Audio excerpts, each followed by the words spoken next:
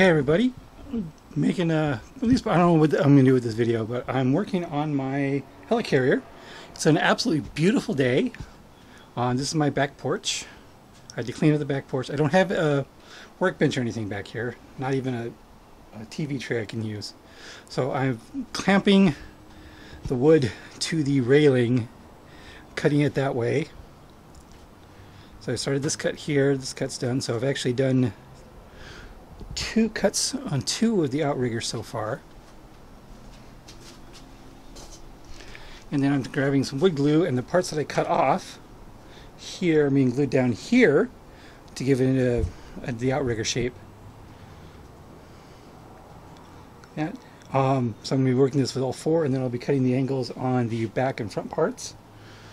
Um, last night I built some some of the pieces. I've decided instead of doing mobile gun emplacements or, or things for the front and back. I'm actually going to put turrets on the deck um, for the front and back.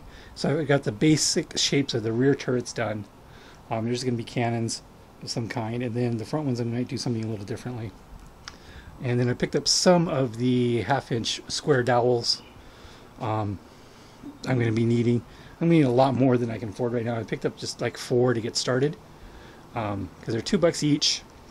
I'll probably need 16 or more, 15 or more of those things.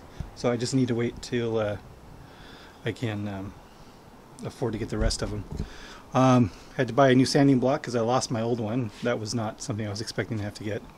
Uh, so I'm just uh, good old sandpaper, 120 grit, cleaning up the edges and trying to smoothing off the surfaces. Let me try and round off the corners a little bit more as I sand them down. But uh, that's my progress so far.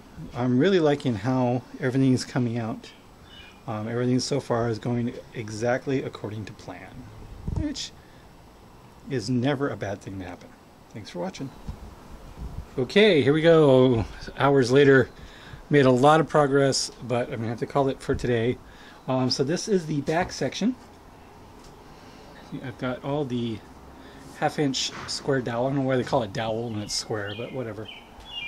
Um, I left about a quarter inch gap here around the edges, and for that's going to be for things like pipes and grubbins and stuff, kind of like the Millennium Falcon um, side panels. See, would be the idea there. Um, so these are the turrets I've got started for the back here. So I'm going to go about here and here.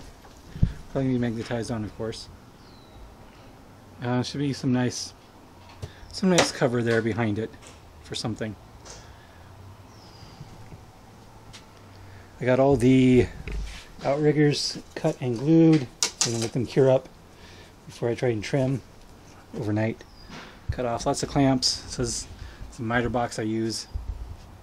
So here we are, as I said, uh, making good progress. So we've got the basic shape of the rear section done.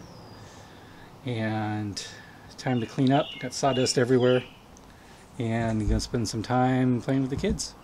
So not bad for first day off. Thanks for watching.